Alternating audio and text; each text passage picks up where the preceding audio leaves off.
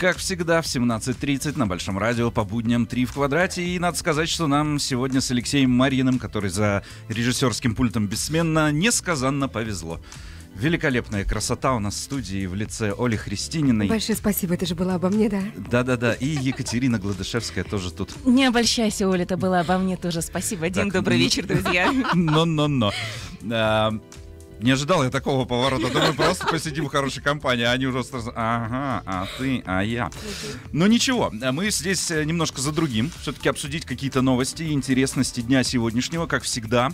А, И приглашаем вас присоединиться. 450945, звоните, с удовольствием пообщаемся.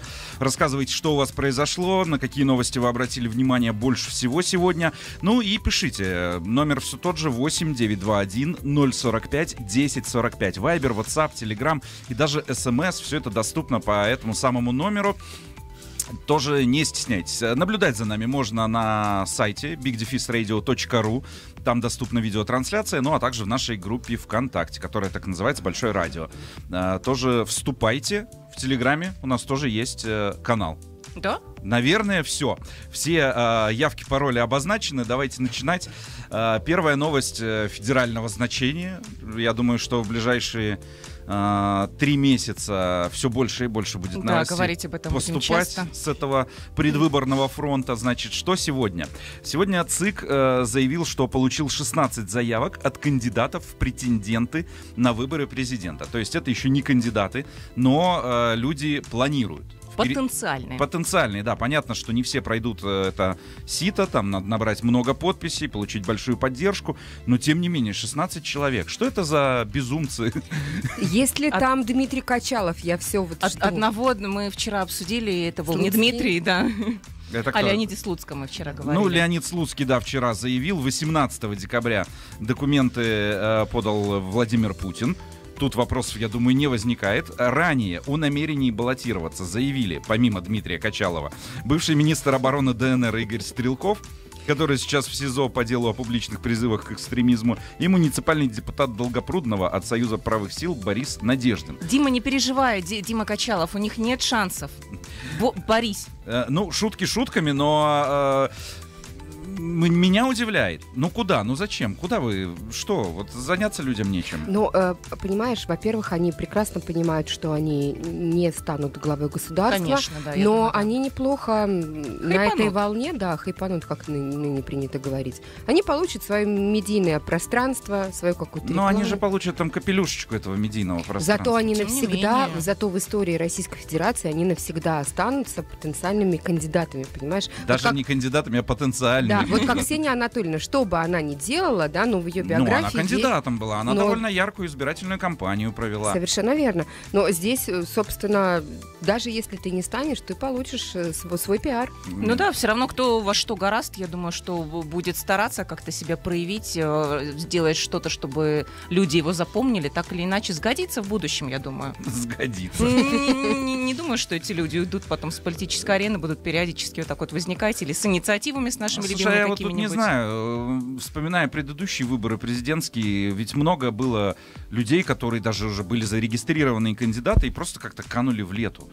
Э, Вот можете вы вспомнить? Я даже с трудом вспоминаю этих Да персонажей. это потому, А что мы нет, этим правда. не интересовались. У нас, знаете, вот мы в другом поле. А если бы мы... Так а, как в другом? В этом мы в новостях каждый день. И ни один из... Ну, Собчак, окей, да, согласен. Ну, а кто еще? Ну, второго мы знаем, он Владимир. Владимира Вольфовича, да, уже не Мгм. стало. Понятно, что был персонаж, но там э, с точки зрения политики российской это глыба. Но А он запомнился, кто еще? безусловно, конечно, ну, не Зю- этим. Зюганов пойдет? Ну, если я не ошибаюсь, Явлинский когда-то, да, баллотировался. Да, но вот эти вот там буквально пятерка. А ведь э, на каждых выборах этих э, кандидатов там человек 6, 7, 8, 9, 10. Где они? Не говоря уже о потенциальных кандидатах. Ну, Потенциальные. вот, поверьте, в любом более. случае это остается в их определенном резюме, и это будет... Я не знаю, на мой взгляд, это все какие-то, ну, такие... э, Ты бы пошел? Да нет, конечно. Ну, а Почему? А Качалов бы пошел. Слушай, ну, э, потому что даже в казино и то больше шансов. Понимаешь? Я думаю, раз люди идут, значит, они преследуют определенно свои какие-то цели. Ну, не, не потому же, что им просто нечего делать, а не попробую-ка я себя в качестве кандидата на должность президента страны. Ну, окей, будем следить. Интересно, кого зарегистрируют и сколько будет имен в этих бюллетенях-то в итоге.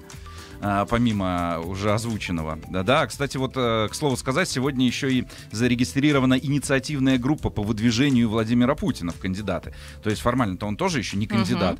Вот, и, значит, э, э, на президентских выборах 2024 года э, сопредседателями избирательного штаба могут стать. Ну, еще не стали, потому что, опять же, да, Тоже еще штаба нет. потенциальные, Да, да. да. А, глава парламента ДНР, командир батальона «Спарта» Артем Жога, а, актер Владимир Машков и главврач а, Московской городской больницы номер 52 Марьяна Лысенко. Ну, То есть здесь, в принципе, такая беспроигрышная тройка. Да, трио такое убийственное. Машков, которого, в общем-то, Да. все любят, великолепный актер, э, несмо- ну, э, не обращая внимания на его политические взгляды, то есть актер он крутейший, да? Да. Да, безусловно. Что, у нас звоночек? Нет, нет, нет, это я машу, А. меня не видят.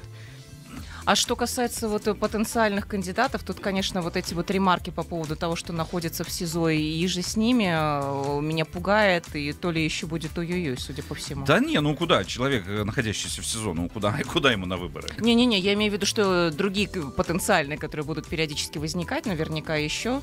Тоже будут Страшно представить. Надеюсь, что не в СИЗО, но не исключаю никаких других пробелов в биографиях. Ну что, обсудили федеральную повестку, так сказать. эм, Обязательная программа, да, теперь уже вольная. Возвращаемся в Мурманск. И очень для меня такая радостная, вселяющая некую, э, ну, надежду, новость, что ли, или хоть какой-то шанс. Значит, э, сегодня стартовала масштабная акция со скрытым надзором на дорогах Заполярья. Э, Вначале ужасающая, на мой взгляд, статистика. 575 ДТП, в которых погибли 56 человек, еще 830 получили ранения, произошли в Мурманской области. За год. Но это очень Еще много. даже год не закончился. Но даже год еще не закончился. Ну, мы да. помним эту ужасную осень. Печенский район сразу Мгм. несколько аварий. Все вот на каких-то трассах, да, где-то пьяные, где-то еще что-то. Дети гибли. В общем, жуть. Э, Вот. Ну и, соответственно, госавтоинспекция э, с сегодняшнего дня до 29 декабря затеяла большую акцию. Мне кажется, это правильно, потому что э, накал на дороге тоже нарастает. Вот эта новогодняя суматоха, все куда-то мчат, все везде опаздывают. Да, успеть туда, успеть холодно, туда, пробки, подарки купить. подарки, да. Ну, то есть вот какое-то э, нервное напряжение растет. И, соответственно, мероприятие называется «Встречная полоса». Буд- Будут в том числе и скрытно наблюдать за дорожным э, движением. Ну и задача, понятно, что предотвращение ДТП э, и тяжести их последствий, потому что основная причина, по которой происходит ДТП, по, э, по сведениям ГИБДД, это выезд на встречную полосу. Вообще это, ну, мой маленький водительский опыт, я на основе его делаю какие-то выводы. Мне долгое время было непонятно, почему люди так лихачат, ну и сейчас уже становясь человеком более мудрым с возрастом, я тем более этого не понимаю. Но отчасти мне стало ясно, когда я стала водить, откуда появляется вот эта вот чрезмерная уверенность. Ты сначала получаешь права и, допустим, едешь определенной дорогой туда и обратно на работу и потом, соответственно, домой.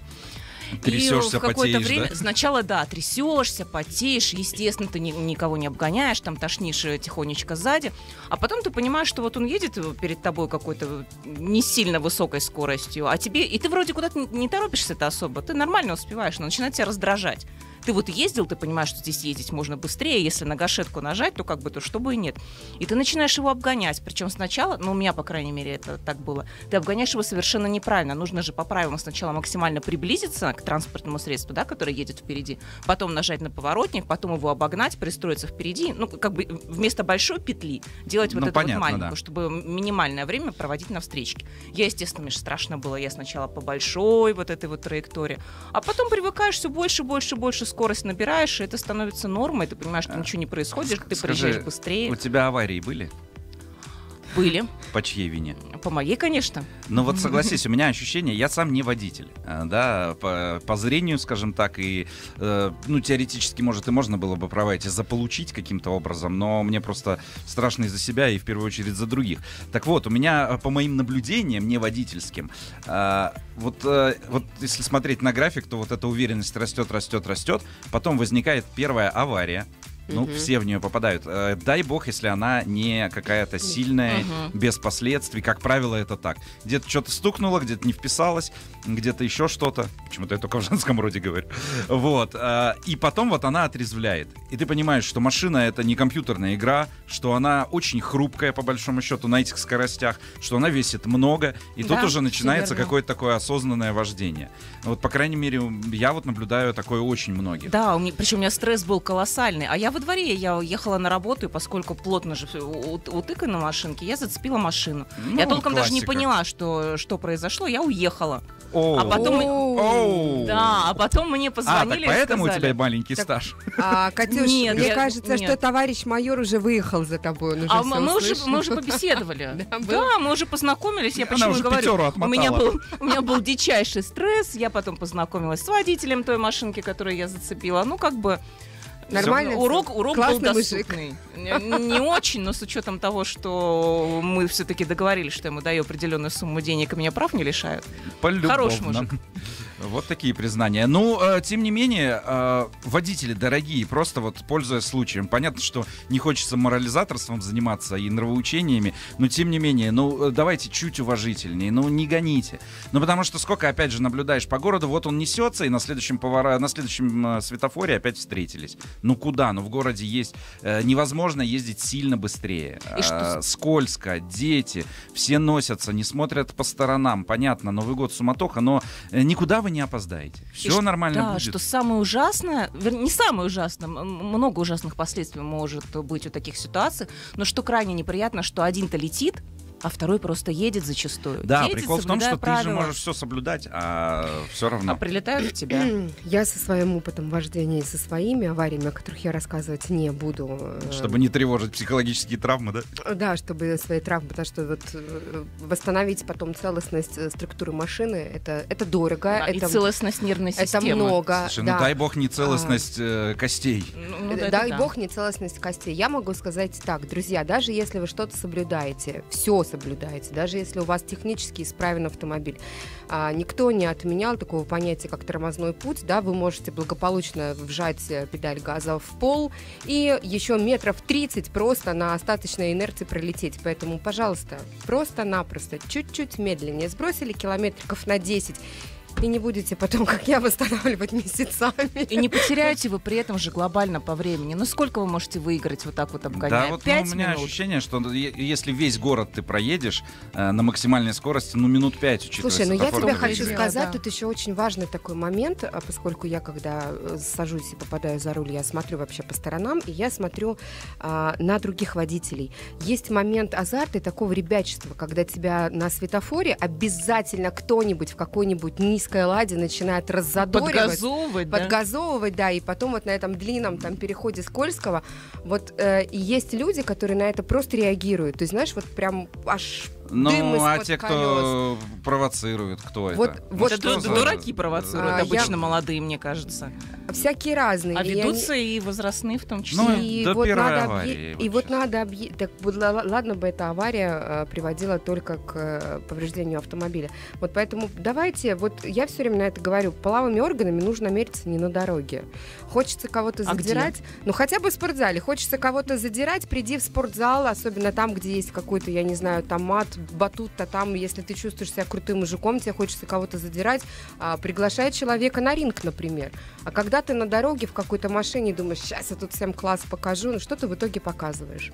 Попадая в статистику, ну это ж куда, ну... Ты так на меня смотришь, как будто это я тут как будто светофоре рядом с По- тобой. половыми органами меряешься. Прости, это тоже просто психологическая травма, извини, пожалуйста, мы их проработаем. Все, Давай- давайте. Ну, в, эфире мы движемся стремительно, буквально несемся по его волнам, и э, дальше э, не хотел затрагивать эту большую тему, но тем не менее, Которая опять тоже все несется, ленты, да. опять все э, информагентства, и местные, и не местные, и всюду повышение цены. Вот сразу целый блок у нас новостей про это. Эм, Значит, сегодня статистика обнародована о том, что инфляция в Мурманской области выросла до 7,37%. А, значит, в ноябре это произошло. Это вы- выше, чем а, в среднем в северо-западном федеральном округе, но как будто бы ниже среднероссийской э, на там несколько сотых процента. Значит, региональное отделение Сбербан- э, Центробанка сообщает, что во многом ускорение инфляции объяснялось высокой потребительской активностью, а также увеличением издержек производителей товаров. Читаю я это все и думаю, ну... э, э, Ну давай на русский человеческий язык. Как вот э, повышение инфляции отразилось на нас, на среднестатистических жителях Мурманской области? А слушай, а я На не знаю, яйцах. тут э, Да. э, на ком как э, это отразилось, это уже другой вопрос. Кто-то, может быть, этого и не замечает. У меня же ощущение, вот я хожу в магазины, условно, там в нашей семье в основном я покупаю всякие продукты и прочее, и у меня ощущение, что с начала года это далеко не 7%. Это сильно больше. То есть ты заметил вот это изменение Конечно. по увеличению стоимости Конечно. продуктов питания? Это по увеличению стоимости всего, честно говоря, и какой-то техники, и каких-то вещей. И в этом смысле, знаешь, ну, э, это может показаться странным поведением, но я сейчас думаю уже, вот есть деньги, хочется что-то купить, бери сейчас. Дешевле не будет. Э, Зато у тебя будет какая-то вещь, которой ты сможешь пользоваться. И новый диван. Слушайте, а мне на ну, с- условно, новый диван, там, новый телефон, не знаю, Ну, что я угодно. очень часто сейчас встречаю мнение, э, наши слушатели делятся, что был такой вопрос, куда вы вкладываете ваши деньги. И люди честно писали, что они вкладывают в мебель, в бытовую технику. улучшение вот своего прямо качества сейчас, жизни. да. Хорошо, а если говорить о продуктах, высокая потребительская активность, это как? То есть раз в неделю ты, заходя в магазин, покупал, скажу на тех же яйцах, десяток яиц, а потом ты вдруг стал покупать три десятка яиц. Вот я тоже Но не ты же их понимаю. не съедаешь. Высокая потребительская... Это если ты живешь один. Нет, ну Нет, слушай, ну, у нас, ты раньше э, знаешь, обходился другим количеством. Э, Я не заметил других очередей в магазинах, другого количества нет, продуктов в корзинках. Никто не везет по 4 вот о чем я тележки. говорю, да. Мне кажется, люди сколько ели, столько, Столько едят. едят. А откуда А это вдруг хорошо, повышенная потребительская... подождите. Это мы про причины. Это да, мы сколько ели, столько едим, а у нас с теми же самыми яйцами сколько уже можно их мусолить. Мы же знаем уже, почему они закончились и сократились. То есть у нас на продукты влияли и санкции, и какие-то изменения э, в нашей стране. И тот же самый гриб, который там выкосил половину птиц, кур, я не знаю кого еще. И с урожаем у нас тоже там что-то было не то. Вспомните, сколько помидоров, огурцов отзывали вообще, потому что они там чем-то там болели. С ягодами тоже какой-то клещ их там всех по- покусал. То есть мы-то как ели, так и едим. А продукты по какой-то причине уменьшаются. Все. Нет, слушай, на самом деле, э, мне кажется, опять же, вот эти все новости про всякие грибы, клещи и прочее, и прочее, как раз-таки оправдание повышению цен. Все очень просто. Ситуация в мире, мы знаем, какая ситуация с международными э, поставками и прочим, мы знаем, какая. Мгм. И, ну, логично ожидать, что э, когда у страны другие приоритеты, что будут просто в целом везде расти цены. Э, Дело не в потребительской активности, на мой взгляд, как утверждает нам э, северо-западное там, отделение Сбер- э, Центробанка, региональное отделение. Э, и понятно, что увеличились издержки производителей товаров. Но ну, почему? логично, да. тот же бензин, там, материалы, расходники, оборудование и все прочее. Все понятно, по каким причинам растет. И просто люди, знаешь, ну, думают, вот, э, случилось там СВО, случилось еще, еще что-то, а в магазинах ничего не подорожало. Так экономика так не реагирует. Вот вам, пожалуйста, этот результат. То есть он не мгновенный, но вот через годик, через два он и настигает нас. Возможно, ты прав, если среди наших слушателей есть э, приверженцы таких же заговоров или которые знают, но другие причины. Почему? Звоните 450945. Да, э, звоните, с удовольствием пообщаемся, пишите нам 8921-045-1045. Ну а сейчас самое время прерваться на небольшую рекламу на Большом радио. Три в квадрате возвращаются, друзья. Мы всю рекламную паузу хихикали над нашей же фотографией в телеграм-канале. Кто еще не подписан, обязательно подключайтесь. А, Там иногда бывает даже местами весело. Посмотрите, какие мы сегодня жизнерадостные, и предположите в комментариях, что же с нами случилось в студии. Да, потому что обычно это лица у нас нормальные, ну, большей части жизни. Ну, ты Надеюсь. знаешь, Но это не точно. Это, это у вас. Вот. Ну и звоните 450945, пообщаемся, обсудим ваши новости, что у вас там по повышениям цен, замечаете или нет. Эм, Что еще растет в цене и дорожает? В связи с инфляцией. Да, школьное питание. Значит, история какая? Э, Вот схватилась за голову Я мама, всё, мама я- Оля. Держись, держись. ма- Мама Оля, я... Э, Вот, значит, э, история какая? В интернете кто-то там в комментариях или где-то возбудился на этот счет, что ай-яй-яй, будет дорожать школьное питание. А, В городской администрации тут же отреагировали, что, мол, не так уж и дорожает. Не переживайте. И, и все новости вышли э, с такими словами, что э, стоимость с 1 января 2024 года платного питания в школах э, Мурманска увеличится незначительно. На 2 рубля, на 3 рубля. Ужины, например, на 6 рублей, а у учеников с 5 по 11 класс на 13 рублей. Э, Больше всего подорожают полдники для учеников с 5 по 11 класс на 15 рублей. Вот, все это в пределах уровня инфляции, опять же. Нам объясняют в городской администрации. Рост тарифов обусловлен необходимостью увеличения выхода молочной продукции в, соответствующей- э, в соответствии с действующим санитарным законодательством. Ну вот эти же циферки, это же за день, правильно? Или- Да, из-за одного Но, ребенка. А э, я тут посчитала, Так. Давай. и у меня получается плюс 26 рублей в учебный день. Э, Вот, э, то есть, соответственно, 20 дней это почти 500 рублей, и даже больше, 520 рублей в месяц. Мама Оля попала. А, я с удивлением узнал из этой новости. Ну, понятно, что все дорожает, это не сюрприз, но я узнал, что, оказывается, ужины бывают в школе. А это, Ужины? да, это в школах, в которых есть э, продленный день, например. Ну, обычно у нас в продленке как-то посидел и пошел уже домой ужинать. Во сколько там в школе ужин? Ну, у нас продленка была, четыре, по-моему, вот как около раз, да. четырех часов. Три в и, четыре да, мы уже потом ты точно- забираешь а это уже ужин считается в 4 часа? Да, в школе. В А- школе, а, в пол- школе. а полдник? Это что-то ранее, это где-то А около обед? 11.30, обед А. в час, час 30. Подожди, ну полдник же между обедом и ужином. Ну там полдник, да, между, нет, он между, после завтрака и до обеда, Это, А, точно. Да-да-да. да. в смысле, ну полдник всегда же после обеда. был. Нет, нет, до обеда. Он поэтому и называется полдник, до обеда. Он ближе к полудню. Алло. Ау, здравствуйте. Пруэт. Так, в следующем перерыве мы изучаем э, значение слова полдник, но, на мой взгляд, всю жизнь это было после обеда. У тебя дети в школе учатся? Да нет. А, ну понятно, ладно, потом. Э, Ну, в целом, э, тоже вот родители, будьте готовы на какие-то 2, 3, там, 5 рублей, 15 рублей подорожают Слушайте, обеды. я вообще не помню, чтобы у нас был полдник в школе. типа, Что-то я задумалась. Слушай, да я помню, что у нас только на большой перемене что-то погнали в столовку, набрали пиц там, если они остались еще.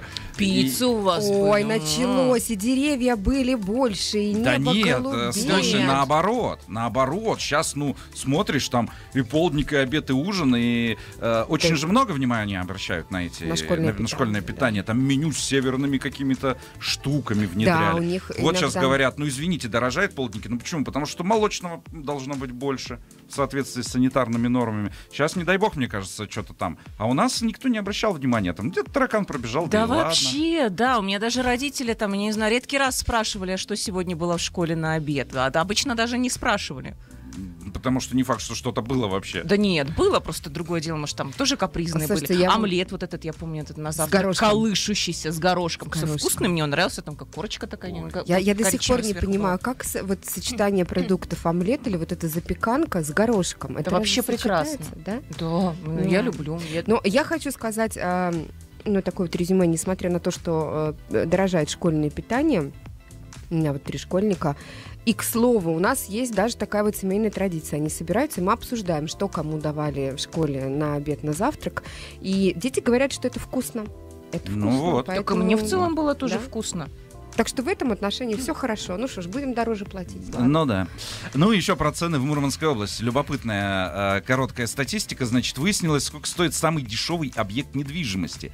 Это у нас эм, э, отчитывался сегодня, отчитывалось управление Росреестра по Мурманской области, и оказалось, что недостроенный объект в э, поселке Зверосовхоз стоит меньше, чем десяток яиц. 128 Я рублей. думаю, надо брать. Хороший заголовок, правда? Мне Я думаю, надо брать, друзья. Почему мы еще с вами его не выкупили и что-нибудь там не делаем? Ну, А например, что ты будешь там делать? мы могли бы там проводить open air большого радио, например. Мы могли бы туда... Ну, то есть я могу тебе вот за рекламу на большом радио миллиард вообще способов придумать, как использовать это помещение. Нужно брать.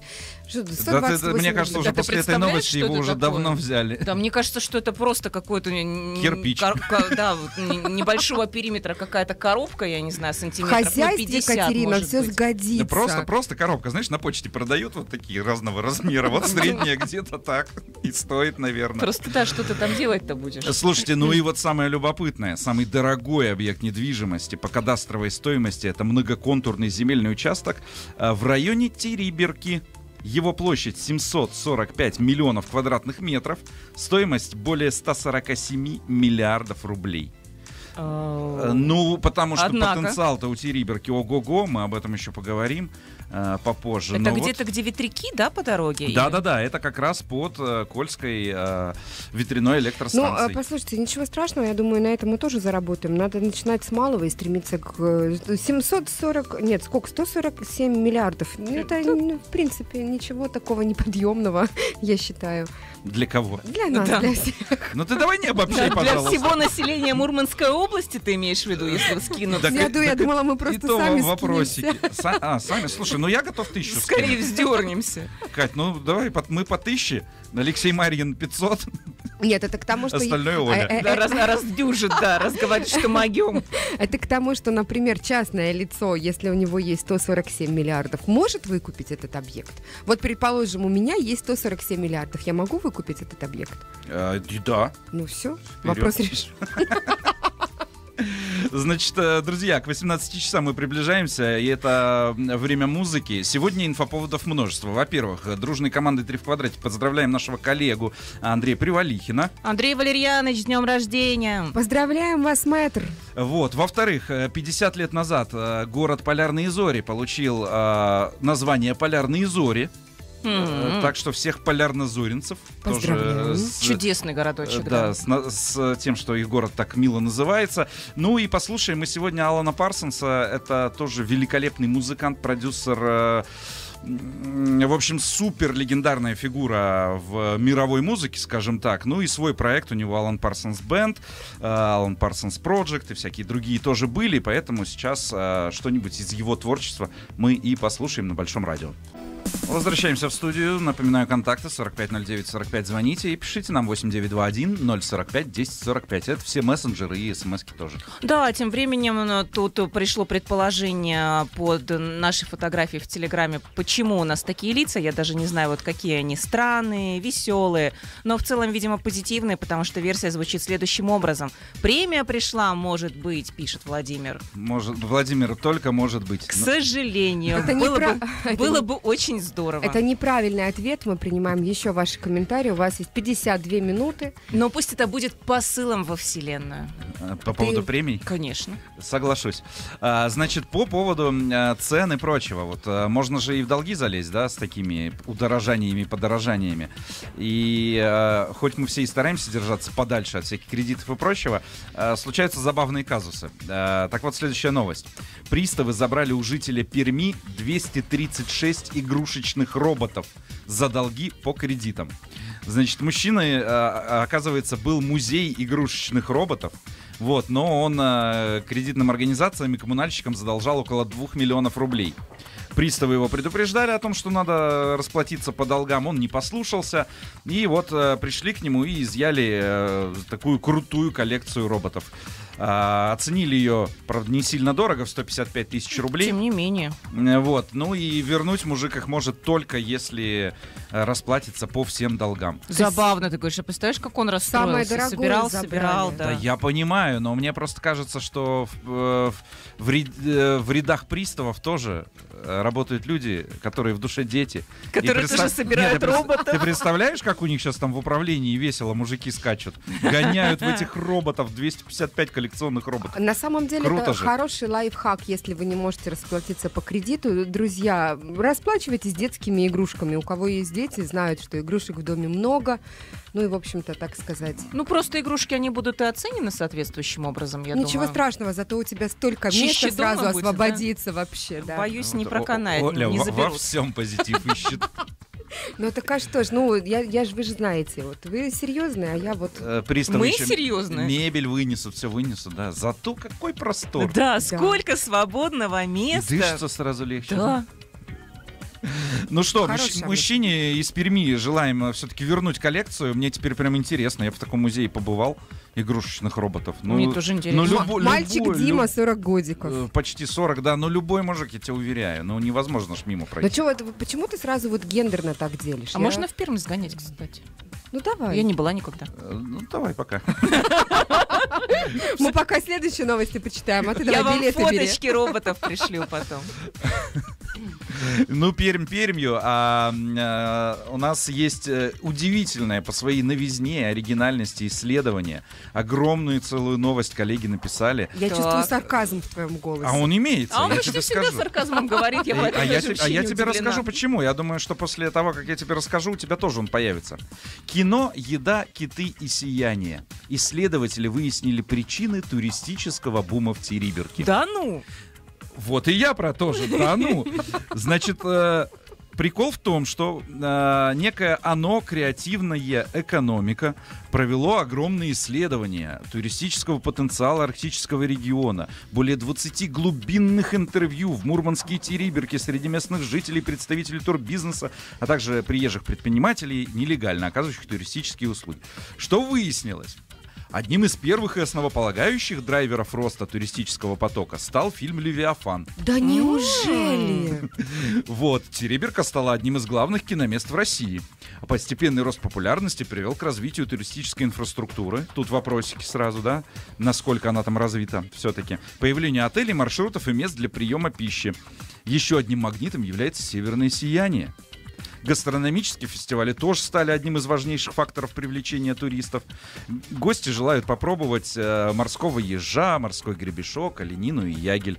Исследователи отмечают, что Териберка перенасыщена гостями практически на протяжении всего года. У меня только один вот такое вопрос. удивительнейшее исследование. Давай, ты, ты свой вопрос первая задавай. Хорошо, что о ножке с русским языком? А, ты имеешь в виду что? Я имею в виду креативное экономика. Ну, тут, может Это быть, и вот- журналисты, мы на это не обратим внимания, бог бы с ним. У меня другой вопрос. Давай. А, это же целое исследование. 20, более 20 глубинных интервью. Конечно. А глубинное интервью это не то, что опрос Это по не телефону. просто интервью, Это, это- часа два-три. Это глубинное интервью. Это нужно было забуриться в Ну, самую ты понимаешь, суть. то есть это условно там а, месяц, а то и не один работы Вот, мы- специалиста. Вот мы с тобой вот э, мыслим в одном направлении. Это несколько недель работы специалиста.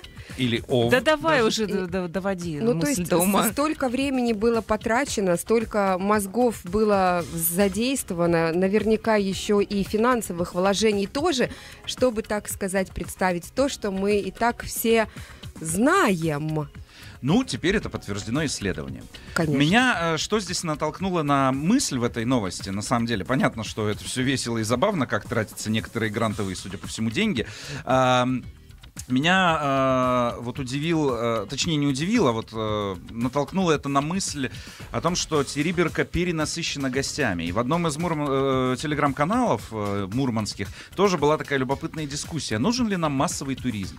Или, может быть, э, стоит заточить турбизнес области под э, VIP, дорогой туризм, и тем самым ограничить поток. Не будут вытаптывать там природные территории, э, но э, деньги будут не меньше, потому что это дорогие э, денежные туристы. Ты имеешь в виду инфраструктуру как-то развивать? Или Ну, что? я имею в виду в целом, то есть какой туризм нужен Мурманской области? Э, Вот этот массовый, когда у нас... э, э, Страдает природа. Набегами, Да, да. вот набегами, толпой приехали, нашествиями, нагадили, Э, как угодно там на попутках, на самых дешевых поездах, там китайцы, которые э, ну, я не знаю, оставляют ли вообще деньги в экономике. По-моему, они только дошираки покупают у нас э, в магазинах, да.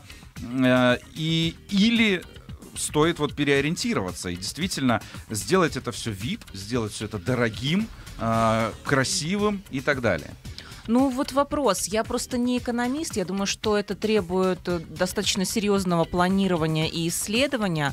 Так вот уже А, как- исследования как, как начались. оценить, Да-да-да. нет, не, я серьезно, как оценить вот эти вот э, возможные поступления при массовом туризме, который есть сейчас, или там заточить, не знаю, вот дорога на Териберку, полностью ее отремонтировать, я имею в виду сделать вот эти вот ограждения, чтобы не было переметов, чтобы не нужно было закрывать дорогу, пустить туда специализированный транспорт за определенную сумму денег, достаточно серьезную, что-то там еще построить, ну это я условно так говорю. Просто вот понять бы, как это отразится в финансовом эквиваленте для нашего региона, я вот просто представить не могу, поэтому мне сложно судить. Ну, давайте э, будем объективны. Во-первых, э, споры на этот счет идут, и идут э, достаточно длительный период времени.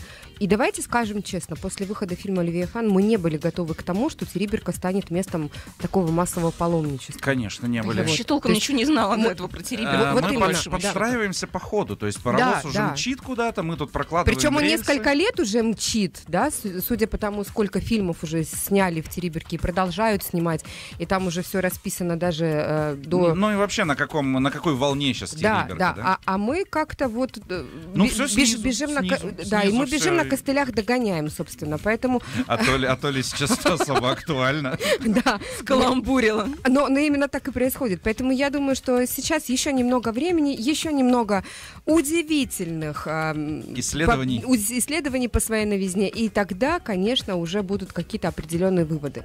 Но, друзья журналисты, готовимся к новым исследованиям. Да. А у меня еще такой вопрос, ждать. ребят. Э, Гости хотят попробовать, да, морского ежа, морской гребешок. Его можно попробовать ягель. только в Териберке, Кого? морского ежа. Нет, Больше ну, нигде нет. имеется в Нет, виду, и- что, ну, Это был сарказм. Нет, Э, это понятно, да, потому что сегодня я подписана на э, телеграм-канал Териберка. и Тебе написали раз- морские ежи. Нет, и там как раз ребята, ну, там вы, вы знаете прекрасно, там находятся и гиды, и туристы из разных городов, и местные, кто приезжал.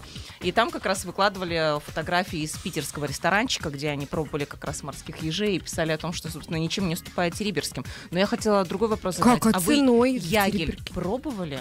А, столько да, я разговоров об пробовал этом чипсы идет. из ягеля. Это вкусно? Это безвкусно, я бы так сказал. А ты пробовал их где? В Мурманске они Нет, нет, продаются За э, 400 рублей в пачку? сувенирных магазинах. Нет, я просто имела честь пробовать чипсы из Ягеля в аэропорту города-героя Мурманска, когда я дожидалась За 1400, своего видимо. отложенного рейса в очередной раз.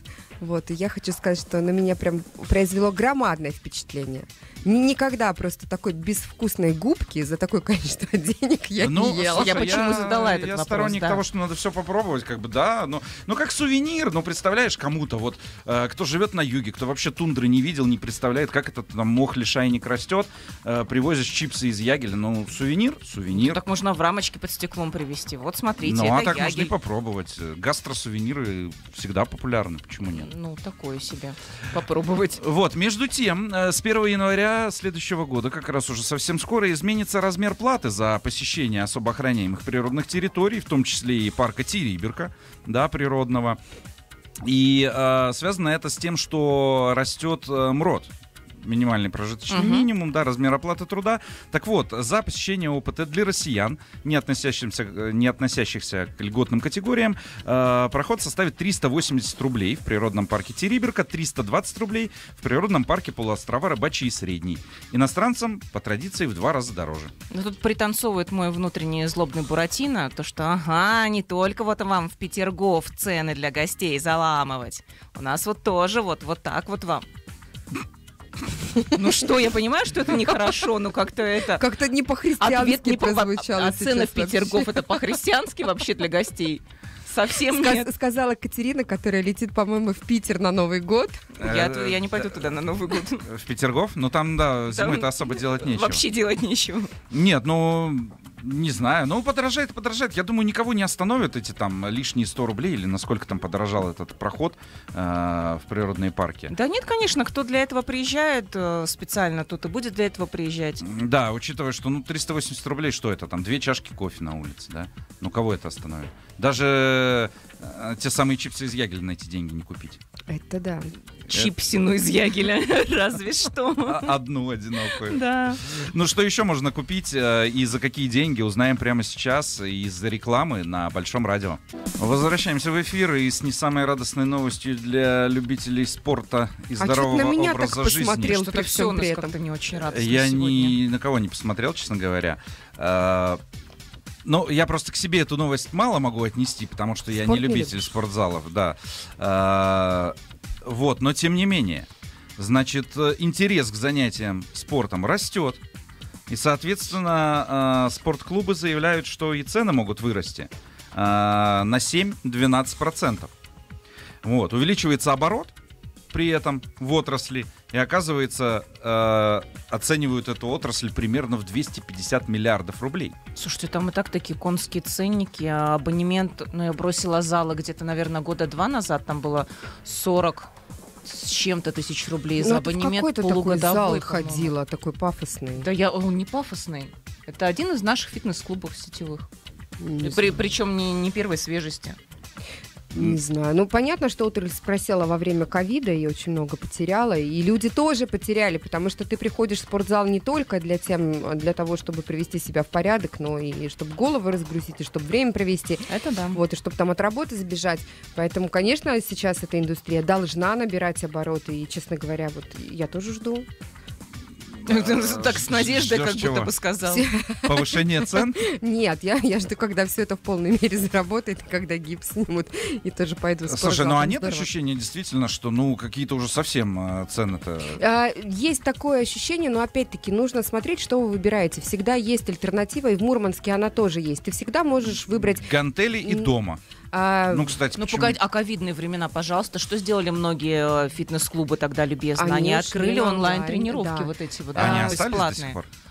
Ну, вот то, что было тогда в свободном доступе, они остались, но сейчас я не замечала. Сейчас Онлайн-тренировки хороши тогда, когда у вас все хорошо с техникой, когда вы знаете, что делать, как делать, да, когда ты, например, новичок, грубо говоря, или там полгода во всем этом, ты еще не знаешь а, полную физиологию всех, например, а, упражнений, то, конечно, тебя тогда онлайн не сильно спасет. Да Слушай, вообще ну не... еще и тренер нужен, а тренер еще дороже получается. Соответственно, да. Либо же ты можешь выбрать, например, групповую программу, да, когда ты приходишь, например, на какое-то вот занятие групповое и Прыгаешь на мечах там каких-то. Ну, на- ну, условно. Ну, условно, да, прыгаешь на мечах. Вот такие прыгалки на мечах, они будут стоить дешевле, чем нежели ты а, с тренером непосредственно занимаешься. Вдвоем будешь прыгать.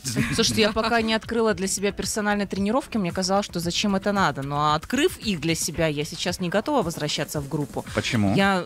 Что за социофобия, социопатия? Слушай, ты знаешь, дело даже не в этом, а дело в том, что когда ты отрабатываешь технику, и тренер э, внимание все тренерское уделено только тебе, то он и крутится возле тебя. Что ты делаешь неправильно, отмечает, больше усилий сосредотачивает на том, чтобы отточить какие-то вот э, э, навыки, которые нужно именно тебе, потому что когда ты, он работает с группой, но невозможно следить абсолютно за всеми. Конечно. Понятно, что индивидуалка это будет Конечно. история дороже. Я не хожу в фитнес-клубы, но на те занятия, куда я хожу, там требуется аренда зала, и я думаю, что если вырастет э, ценник, ну, во всей вот этой вот индустрии, то, соответственно, вырастет ценник и на аренду Но ты все равно ты будешь ходить, даже если твой абонемент подорожает. Ну, например, Я на, буду. на На тысячу 10%. Я буду, потому что мне это нравится и хочу продолжать этим Ну вот, заниматься. собственно, и все тех же условиях, Вот да, и все ответы на все вопросы. Да, цены дорожают, абонементы стоят дороже, но люди все равно будут туда ходить. Потому что в кайф тебе, правда ведь? да? Все. Ну, Дмитрий, что, о чем тут говорить? Ну, пусть зарабатывают деньги. Я- Каждый как может Да, это я всегда говорю, что есть такая история, которая называется цена за комфорт. Вот, например, э, в салон красоты, э, несмотря на мой средний заработок, куда я хожу, там, в принципе, как бы ценник-то не кислый. Но ты, ты туда приходишь, Ольга тебе- какая-нибудь. какая-нибудь, да. Мгм. Ты приходишь, тебе девчонки, все уже знакомые, э, тебя хорошо знают, здравствуйте, улыбаются, чаек, кофеек, конфетку, там подарочек какой-то, как А постоянному перед Новым клиенту, годом еще там даже бокал игристого наливают. Там на все прочим. праздники наливают, да, Вот на так-то. 8 марта. Вообще прекрасно. И я понимаю, что если я пойду в какой-нибудь там, я не знаю, а, в торговом центре или в деловом центре арендованная небольшая комнатка Парикмахерская Галина. тети Оли, да, или Галина, там будет совершенно другая история, но там я буду чувствовать себя значительно менее комфортно, скорее всего, хотя, может быть, там Галина еще гигей. У нас Э, звоночек. Алло. Добрый вечер, друзья мои. Да, Здравствуйте, добрый. Роман, ради вас- рад вас Да. слышать. Зна- Значит, по, по- по поводу сетования на повышение цен а, в фитнес-центрах, спортзалах и Ага, прочее.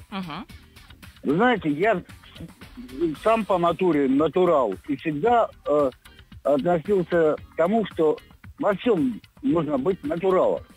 Так. Поясните. Поясняю. Помните, э, Владимир Владимирович Маяковский сказал, э, любить это значит вглубь двора, сбежать и до ночи ранней. Чего делать? Махать топором.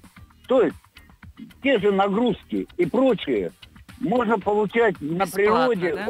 около дома. Вот возьмите даже вот э, наши дамы. Мгм. После работы идут в магазин, набивают два пакета пакета тяжеленных и пешочком идут домой.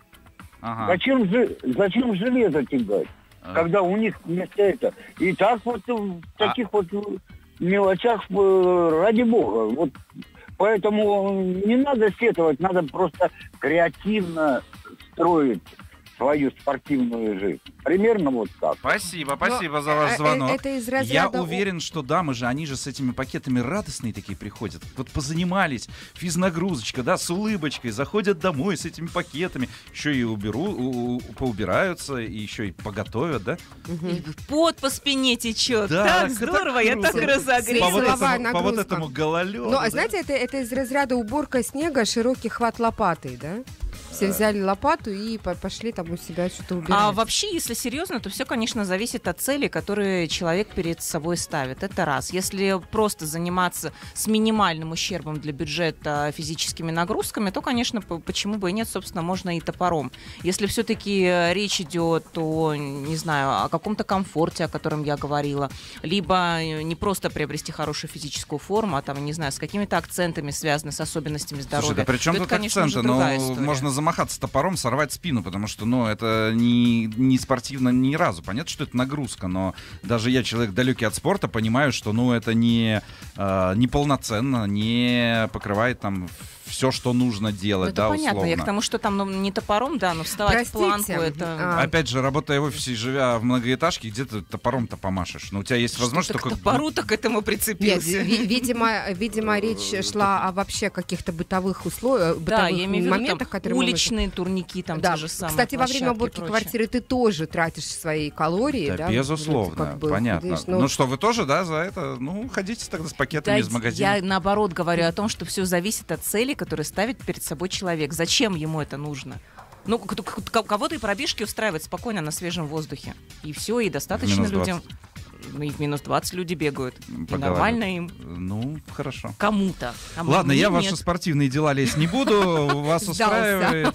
Нет, ну а чего? Мне кажется, ну, понятно, что э, э, наш слушатель Роман, да, по-моему, с юморком и так далее. Но если вас, э, дамы, устраивает ходить с пакетами и считать это спортом, то я говорю вообще про другое, ты- гнет. ты- ты Я вообще вас пытаюсь защитить тут уже пять минут, а, вы такие, да нет, Дима, все. Нет, нет, нет, Дим, ты просто не слышишь, потому что Катя говорит, что это, конечно, не считается спортом. Это как бы можно. Каждому свое Вот, просто. э, во- вот вымотаться, сходить, э, я не знаю, э, сходить в магазин, сбегать в ателье там а, за одеждой детеныша, что-то там еще куда-то и еще куда-то, и все пешком. И если тебе нужно куда-то проехаться, не, не пользуйся транспортом, беги. Ты, конечно, похудеешь, но при всем при этом ты будешь какой-то загнанной лошадью. А когда ты приходишь в спортзал, ты вроде как бы и тело прокачиваешь, и у тебя голова отдыхает, ты получаешь первичные гормоны счастья, которые вырабатываются у нас во время тренировок хороших, грамотных. Поэтому это совершенно две разные вещи. Спасибо, что ты нас защищаешь. Да Спасибо, нет, Оль. все, теперь Спасибо, ходите, Дима. Ходите, ходите теперь в магазин вместо спортзала.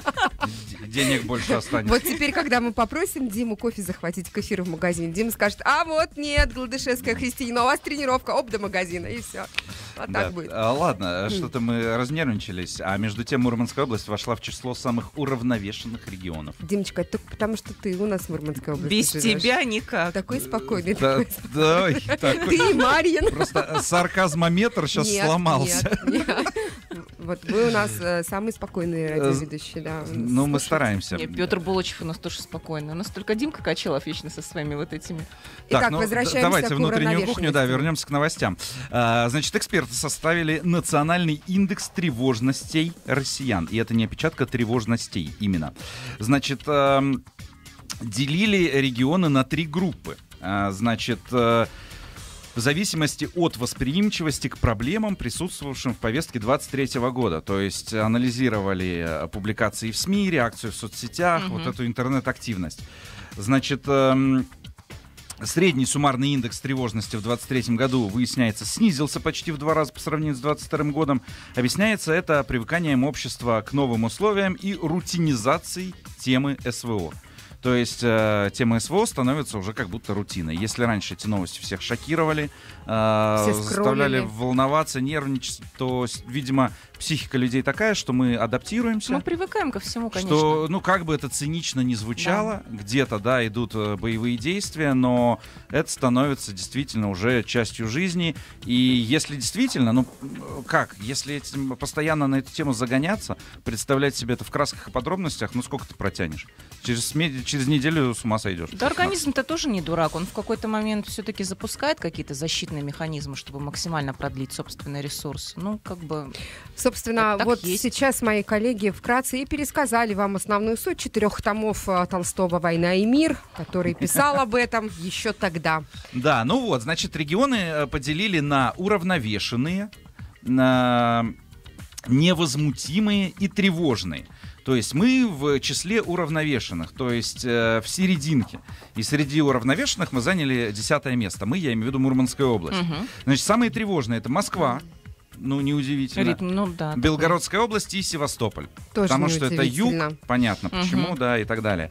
Самые невозмутимые, то есть на спокойствии, вообще на, На ре- релаксе, чиле. на чили, на расслабоне. Э, Мы были в Дагестане, и у них говорят на рахате. На Рахате. Да.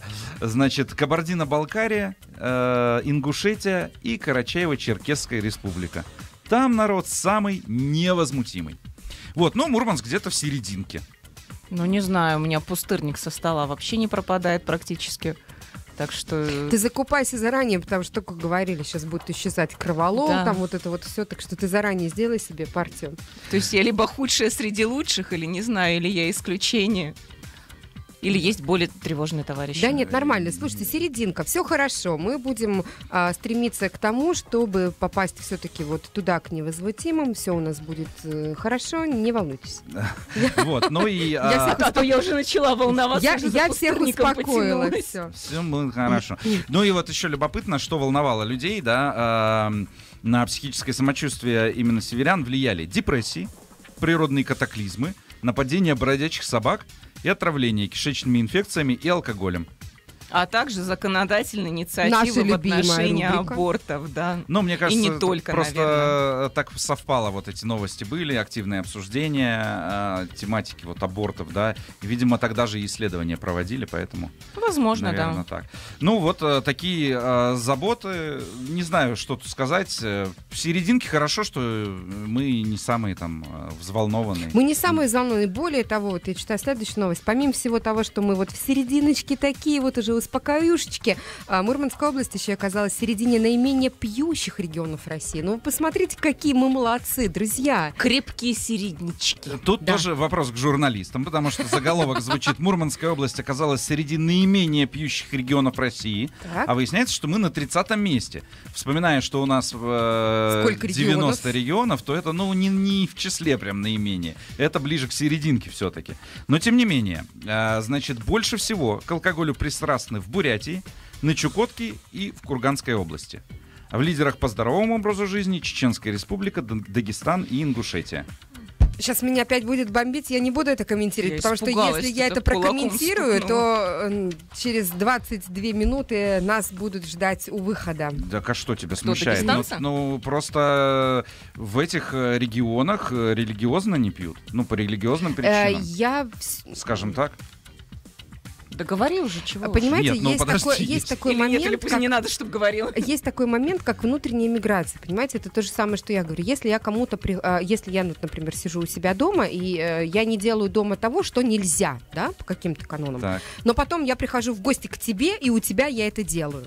Так, Так. я в итоге что? Вот, вот, вот внутренняя миграция, она такая же. У себя кто-то что-то не делает, но приезжая в какой-то другой регион, Ну, слушай, я думаю, что если люди по религиозным соображениям у себя не пьют, так они и в другом регионе не пьют. Не, Или- вот, да, ну, я, хорошо, я видимо, соглашусь. вот видимо, вот видимо, у будет- какие-то личные примеры. Нет, да, нет, вот у нас будет реклама, опыта. да. Что ты хотел сказать? Да, ладно уж. Давайте к следующему. Да, да какой следующей новости? Мы как раз уходим на рекламу, и ты нам все и расскажешь. А, ну что, в эти декабрьские деньки ни один э, выпуск э, трех в квадрате не обходится без э, новогодней темы. Куда уж, конечно. Да, потому что Ну, журналисты, понятно, тоже готовятся к Новому году, проводят всевозможные опросы, исследования и прочее. Очередные циферки. Более 70% россиян не видят смысла Нового года без селедки под шубой. Вот такой вот заголовок. Сра- сразу, да? То есть неужели Новый год не наступит без какого-то салата странного, Да на мой взгляд? Э, Я Из поддерживаю. соленой рыбы, свеклы и майонеза. Ну, честное слово. Друзья, позвоните, скажите нам, ну настолько вам важна эта селедка под шубой? 4509-45 наш номер. Я не понимаю. Во-первых, ну, э, ладно, окей, это все вкусовщина, кому-то он нравится. Ну, прям обязательно. Прям в чем его прикол?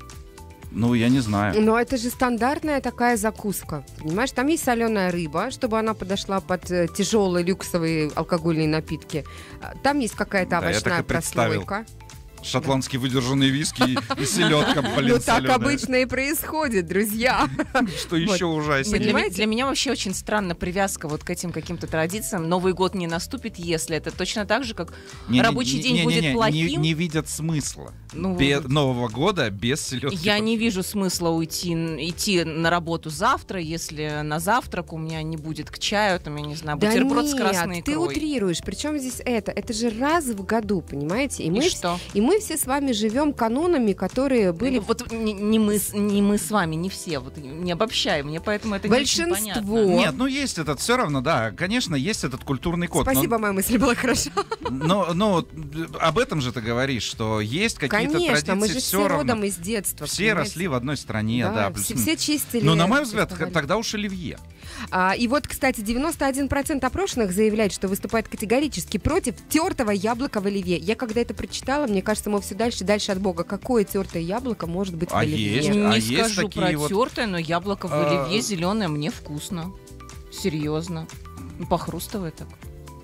А, ну, я не знаю, у меня теперь нет подруги.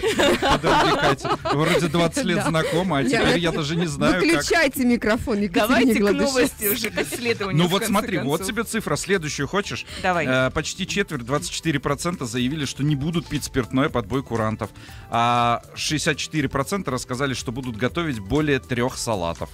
Ну, Оливье, селедка под шубой, что там? Крабовый, должен быть крабовый обязательно. Рис, крабовые палочки, кукуруза. Это вот тоже А классика винегрет жанра. себе нет? О, винегрет, точно. еще Четыре уже насчитали, Ну, видишь? слушай, Хала- Винегрет, ну, если холодец селед- салат. селедки покрошить, вот тебе селедка А, ну, под шубой, я же принципе, да, то правильно есть можно понимаю. просто селедку не добавлять, и будет уже еще один салатик. Э, ну вот оказывается, да, четверть э, людей не будут пить. Ну, в принципе, оно и понятно, потому что работают же многие. Все равно там условно электростанции не останавливаются, самолеты летают. Нет, но это ты, ты говоришь про э, службы, которые будут на работе, но они же и отмечать не будут, если эти люди на работе и в нарядах. Ну да? вот, да, они не будут случай. пить под бой курантов. Я искренне надеялась, что это как раз-таки те 24%, которые выбирают более здоровый образ жизни.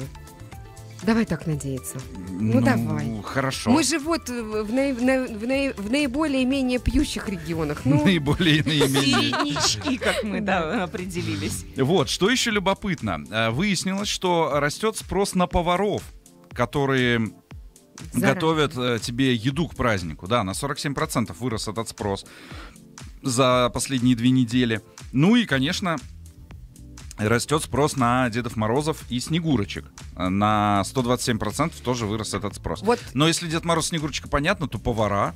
А, очень тоже понятная история, потому что мы все вступаем э, в такое время, когда комфорт нам важен. Вот Катя только что говорила Да. про комфорт Мгм. в отношении спортзала, и ты вступаешь а, в какую-то такую стадию, когда тебе хочется комфортного, домашнего, красивого праздника. Поэтому тебе Ну, я вот согласен, да, ты вот это столько вот лет вот эти убийство салаты, 31 да. декабря и 30 еще заранее, Да. кто там холодец вот этот, как вспомню, там стоит неделю варится. в, э, в десяти формочках. Нет, он вкусный, конечно, Вкусный, конечно, мамин согласна. холодец. Но вот это да, история. С другой стороны, если есть деньги, то почему бы и нет? Это, конечно, да, люди к этому приходят сейчас. Вот взгляните хотя бы на те же самые клининговые компании, которых сейчас полно.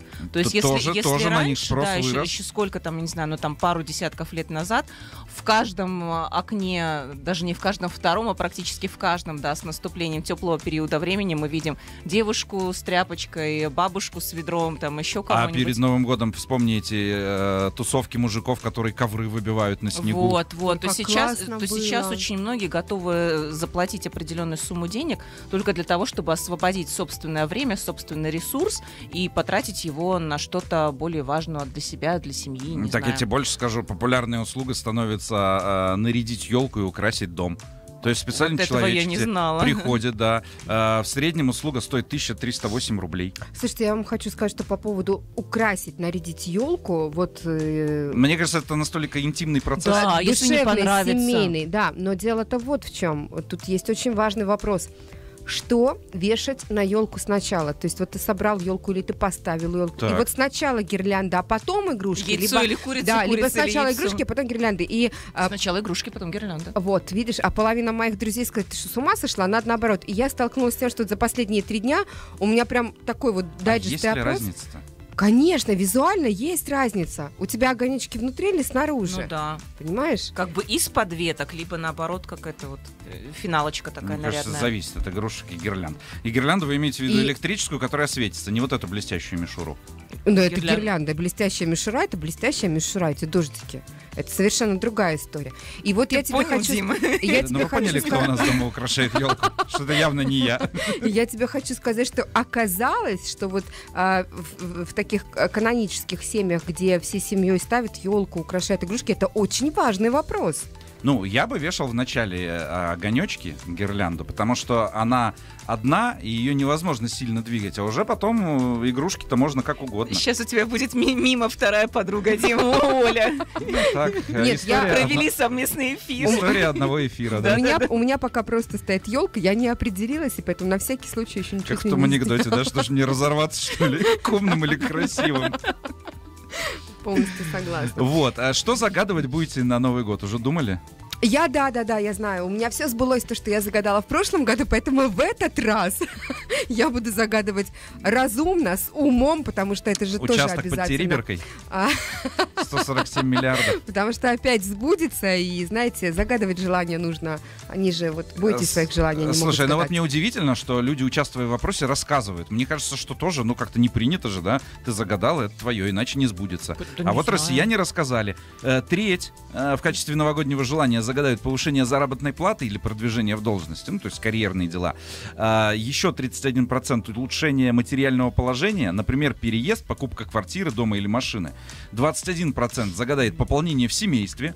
11 всего лишь процентов выйти замуж или жениться, а еще 3% россиян заявили, что у них все хорошо и загадают они, чтобы не стало хуже.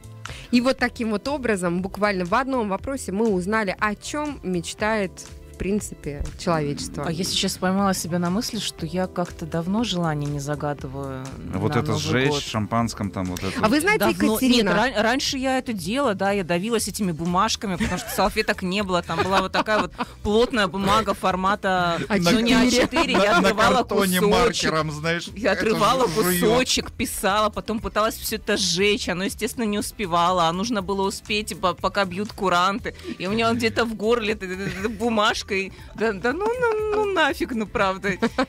И ты потом Глупости как кот пыталась, да, это все было Потом обратно. Нет, я это запивала, естественно, мне же нужно Боже, было, чтобы какой это кошмар. провалилось. Кошмар, так что я не вижу смысла. Вообще утрачивается отношение. Ну, у меня. Э, э, Кать, это просто году. взросление. А, что- да, то есть это ну, на- мне все кажется, нормально? Ну, я не знаю, я вот тоже понимаю, что уже совсем не тот настрой какой-то, ну, не ждешь уже чуда прям. Э, но мне кажется, главное, все-таки этот праздник надо на детей ориентировать. Главное, чтобы у них было ощущение праздника. Думаю, скажешь, надо пережить. Чуда, Ой, господи, какие вы скучные взрослые. Я вообще этого не понимаю. Послушайте, ну такая волшебная ночь, когда ты можешь, ну... Куча пьяных людей на, улице. на свободных, серьезных, простите, щах не спать, Я позволить так себе... Я Да. тоже могу. Каждую субботу.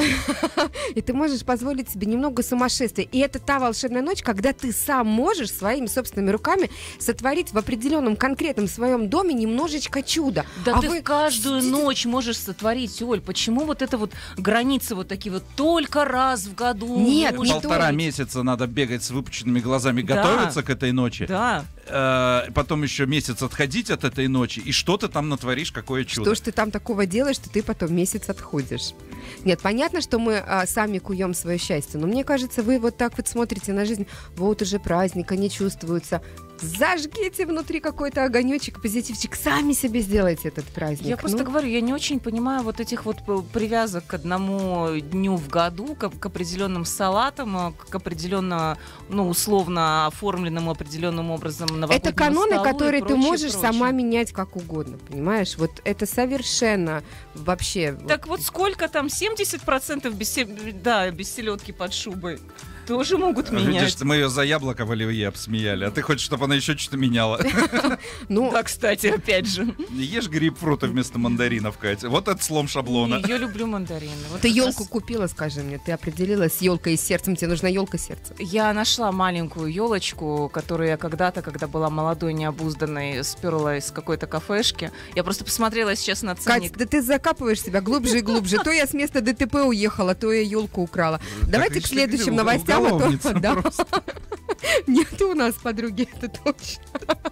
Давайте следующие новости, В Катюш, пока Мончегорске, в. Мончегорске интересная инициатива. Я вот давненько такого не припомню. Значит, жителям Мончегорска предлагают выбрать название для улицы и двух проездов города.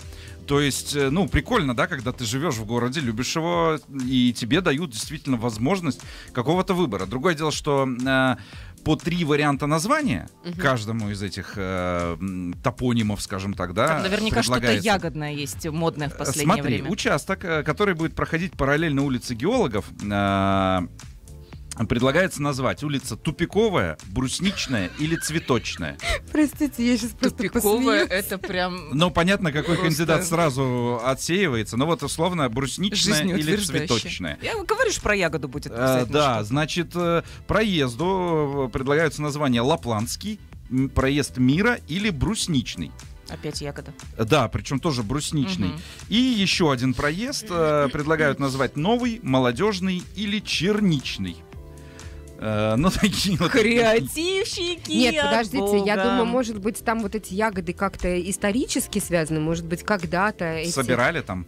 Да, может быть, ну, то есть оно Там же есть морожковое, правильно, в этом? Там же не от балды просто, а вот... Есть улица Морожковая? Мне казалось, что да. Я не знаю. Ну, Ну, я, честно я- говоря, не знаю, какие там улицы. Я вот знаю геологов, да. Я знаю, что в том числе строящиеся, пытающиеся строиться микрорайоны, например, для молодых семей, выделенные в Мурманске, в Первомайском округе, там уже есть улица Брусничная, это точно. То есть это какая-то своего рода мода, мне кажется. Я не знаю, как в других городах. Или Да вот так мы прошли нет? сюжетом по Слушай, героям, нет, по мне кажется, это, мне кажется, это хорошее, нейтральное. Переименовывать не понадобится никогда. Ну, не, мне тоже нравится. Потому что брусника вряд ли станет врагом народа когда-нибудь. Это да. Это Правильно. наша северная А, ягода. северная ягода, позитив, витамины, вот это все. Да. Ну, э, на самом деле, ты говоришь, вот новая мода. А Антонов о чем пел?